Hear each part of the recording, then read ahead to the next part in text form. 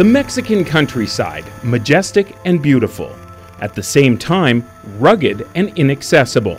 In short, a challenging place to build a natural gas pipeline. The 235 kilometer Tamazunchale extension pipeline stretches across mountainous slopes, with half of the route straddling the Trans Mexican volcanic belt.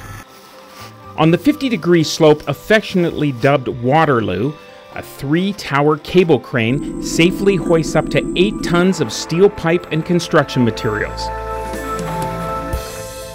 When the terrain and soil conditions raise stability issues for a conventional buried pipeline, it's decided to go through the mountain rather than around it. A remote controlled tunnel boring machine and pipe jacking system carves a path to the other side. The 672 meter long micro tunnel is a first for a Mexican pipeline and a first for TransCanada. Weather was also a significant challenge.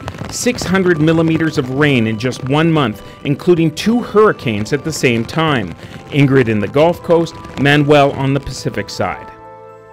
And then there were significant archaeological finds the base of a pyramid, an ancient settlement, in all, 53 historic sites were identified, seven of which requiring a route adjustment.